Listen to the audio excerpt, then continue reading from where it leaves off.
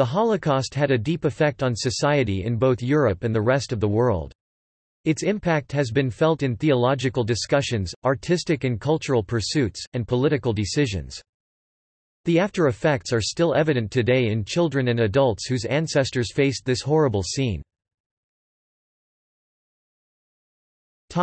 Evidence in Germany German society largely responded to the enormity of the evidence for and the horror of the Holocaust with an attitude of self-justification and a practice of keeping quiet. Germans attempted to rewrite their own history to make it more palatable in the post-war era. For decades, West Germany and then unified Germany refused to allow access to its Holocaust-related archives in Bad Arolsen, citing privacy concerns.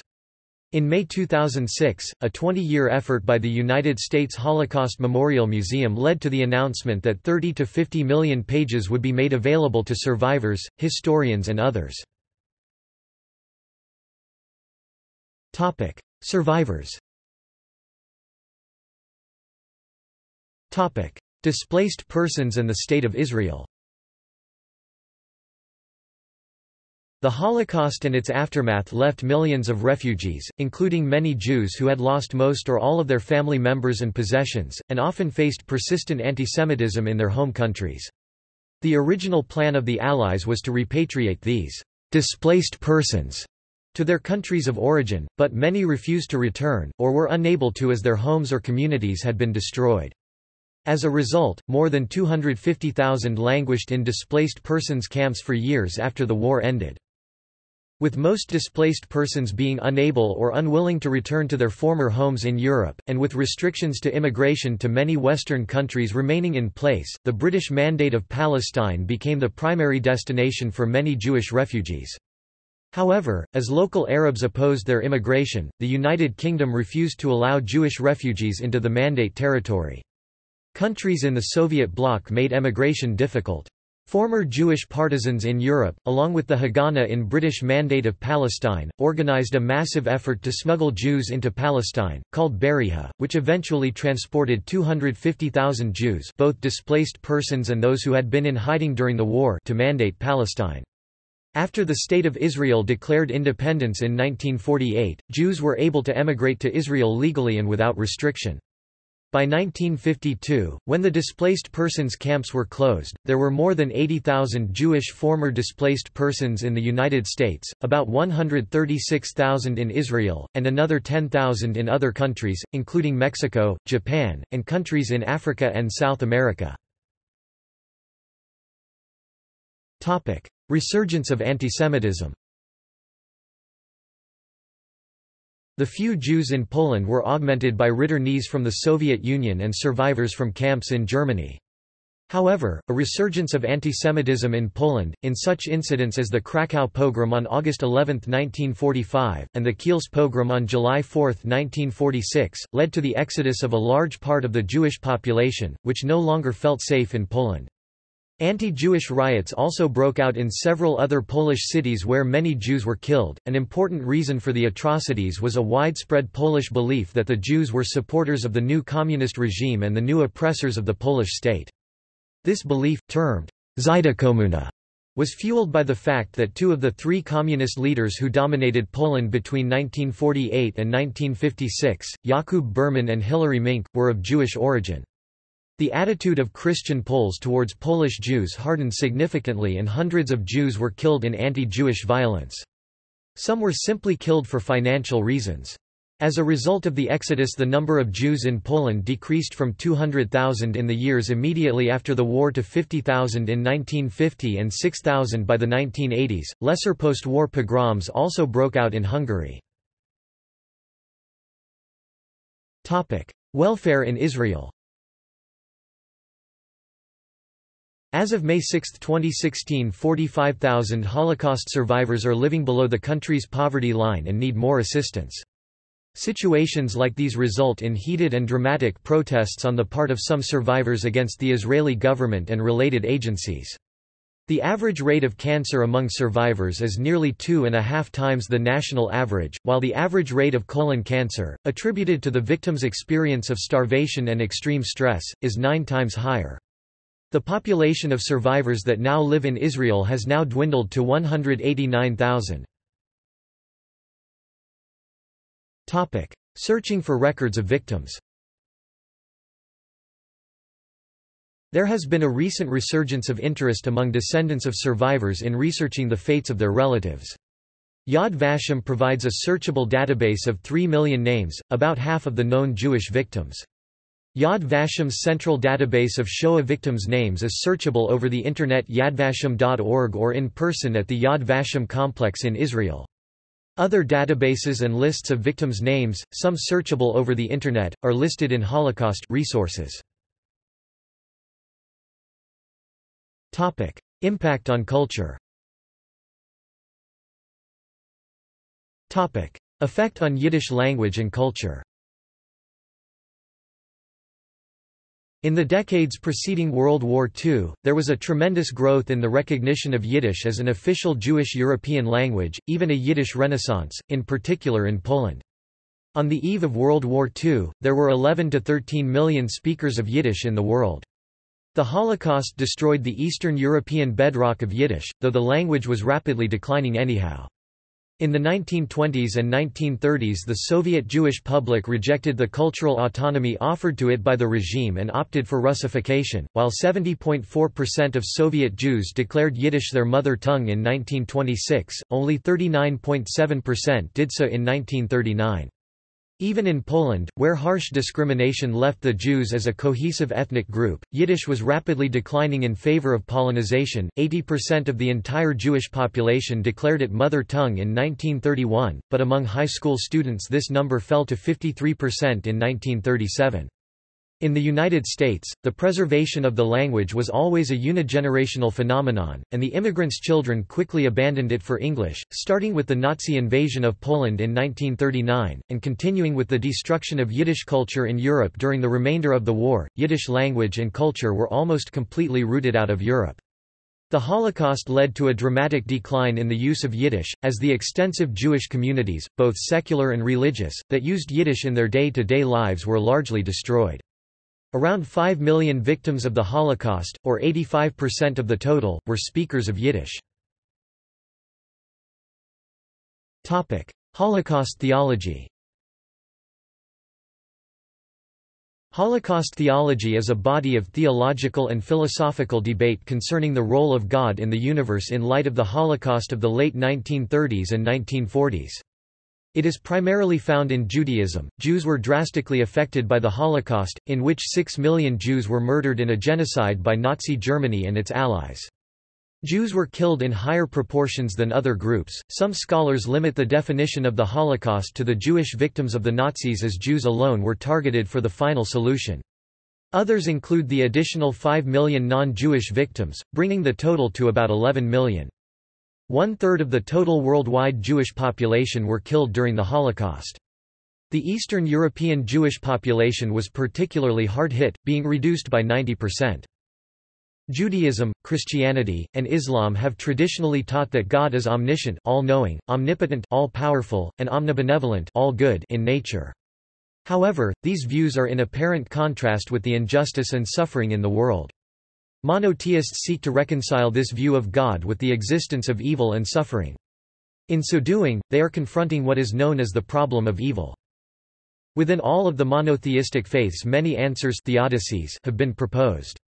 In light of the magnitude of depravity seen in the Holocaust, many people have also re-examined classical views on this subject. A common question raised in Holocaust theology is, how can people still have any kind of faith after the Holocaust? Orthodox Jews have stated that the fact that the Holocaust happened does not diminish the belief in God. For a creation will never be able to fully grasp the Creator, just as a child in an operating theater cannot fathom why men are cutting up a live man's body. As the Grand Lubavitcher Rebbe once told Elie Wiesel that after witnessing the Holocaust and realizing how low man can steep, who can we trust, if not God? Nevertheless, Orthodox Judaism does encourage us to pray and cry out to God, and complain to Him how He lets bad things happen. Art and literature Theodor Adorno commented that, "...writing poetry after Auschwitz is barbaric." And the Holocaust has indeed had a profound impact on art and literature, for both Jews and non-Jews.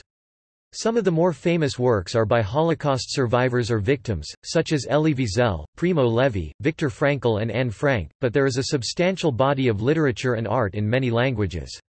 Indeed, Paul Celan wrote his poem Todesfuge as a direct response to Adorno's dictum. The Holocaust has also been the subject of many films, including Oscar winners Schindler's List, The Pianist and Life is Beautiful. With the aging population of Holocaust survivors, there has been increasing attention in recent years to preserving the memory of the Holocaust.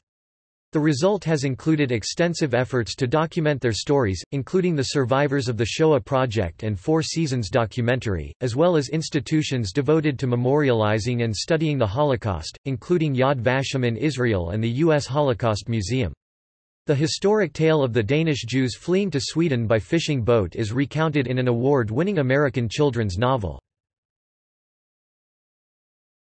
Pre-1945 European art Huge amounts of works of art were looted by the Nazis from Jewish art collectors and dealers, either through outright theft or fire sales under extreme duress. Thus, any work of art that existed prior to 1945 has a potential provenance problem.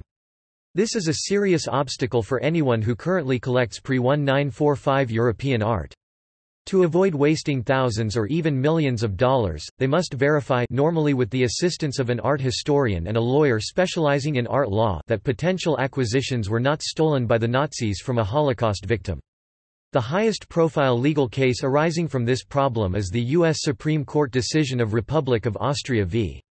Altman 2006, in which the court held that U.S. courts could retroactively apply the Foreign Sovereign Immunities Act of 1976 to Austria for torts that allegedly occurred before 1976.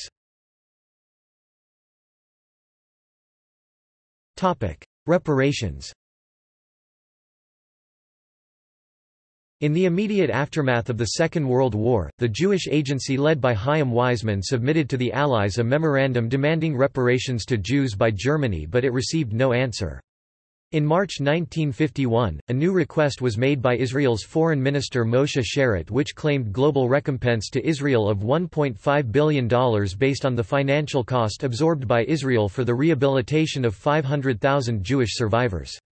West German Chancellor Konrad Adenauer accepted these terms and declared he was ready to negotiate other reparations. A conference on Jewish material claims against Germany was opened in New York City by Nahum Goldmann in order to help with individual claims. After negotiations, the claim was reduced to a sum of $845 millions direct and indirect compensations to be installed in a period of 14 years. In 1988, West Germany allocated another $125 million for reparations. In 1999, many German industries such as Deutsche Bank, Siemens, or BMW faced lawsuits for their role in the forced labor during World War II. In order to dismiss these lawsuits, Germany agreed to raise $5 billions of which Jewish forced laborers still alive could apply to receive a lump sum payment of between $2,500 and $7,500. In 2012, Germany agreed to pay a new reparation of €772 Euros millions as a result of negotiations with Israel. In 2014, the SNCF, the French state-owned railway company, was compelled to allocate $60 millions to American Jewish Holocaust survivors for its role in the transport of deportees to Germany. It corresponds to approximately $100,000 per survivor. Although the SNCF was forced by German authorities to cooperate in providing transport for French Jews to the border and did not make any profit from this transport, according to Serge Klarsfeld, president of the organization Sons and Daughters of Jewish Deportees from France, these reparations were sometimes criticized in Israel where they were seen as blood money the American professor Norman Finkelstein wrote The Holocaust Industry to denounce how the American Jewish establishment exploits the memory of the Nazi Holocaust for political and financial gain, as well as to further the interests of Israel. These reparations also led to a massive scam where $57 millions were fraudulently given to thousands of people who were not eligible for the funds. While the restitution movements of the mid 1990s reunited some families with their stolen property, Holocaust remembrance also served as an important part of the reparation and restitution movement. The main idea of Holocaust remembrance comes from Dan Diner's article, Restitution and Memory, The Holocaust in European Political Cultures, which is the idea that Europe is now bound together by a collective memory of the Holocaust. This unified memory is one of the main reasons Diner lists for the flourishing of the restitution movement of the mid-1990s, following that of the initial movement immediately after World War II. This unified memory allowed for all European countries to come together after such a tragic event to establish the Holocaust at its center as one of the most damaging occurrences of the 20th century leading to a greater consciousness and awareness of this horrific event, in addition, to beginning countless discourses on the topic. Immediately after the Holocaust, countries such as the United States were preoccupied with the Cold War, whereas countries like Germany were controlled by foreign powers, and the Holocaust was not the main concern. Only as time went on did Europe begin to understand the importance of restitution and reparations. As the restoration of property increased, an increase in the memories for Holocaust survivors was found to be a direct correlation. The connection between property and memory proved to be a key in unlocking more details about the Holocaust, further adding to this collective European memory, and thereby increasing and furthering the restitution movement. Holocaust Memorial Days The United Nations General Assembly voted on November 1, 2005, to designate January 27 as the International Day of Commemoration in Memory of the Victims of the Holocaust. January 27, 1945, is the day that the former Nazi concentration and extermination camp of Auschwitz-Birkenau was liberated. The day had already been observed as Holocaust Memorial Day a number of countries. Israel and the Jewish diaspora observe Yom HaShoah Hagevurah, the Day of Remembrance of the Holocaust and the Courage of the Jewish People, on the 27th day of the Hebrew month of Nisan, which generally falls in April. Holocaust denial Holocaust denial is the claim that the genocide of Jews during World War II usually referred to as the Holocaust did not occur in the manner and to the extent described by current scholars. Key elements of this claim are the rejection of the following, that the Nazi government had a policy of deliberately targeting Jews and people of Jewish ancestry for extermination as a people, that between 5 and 7 million Jews were systematically killed by the Nazis and their allies, and that genocide was carried out at extermination camps using tools of mass murder, such as gas chambers. Many Holocaust deniers do not accept the term denial as an appropriate description of their point of view, and use the term Holocaust revisionism instead. Scholars, however, prefer the term denial to differentiate Holocaust deniers from historical revisionists, who use established historical methods, most Holocaust denial claims imply, or openly state, that the Holocaust is a hoax arising out of a deliberate Jewish conspiracy to advance the interest of Jews at the expense of other peoples. For this reason, Holocaust denial is generally considered to be an antisemitic conspiracy theory. The methods of Holocaust deniers are often criticized as based on a predetermined conclusion that ignores extensive historical evidence to the contrary.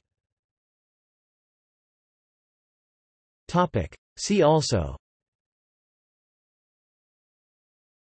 Documentaries that have to do with life after the Holocaust Marion's Triumph The Boys of Buchenwald Pola's March Luboml, My Heart Remembers Secondary antisemitism Reparations agreement between Israel and West Germany Topic. Notes Topic. Further reading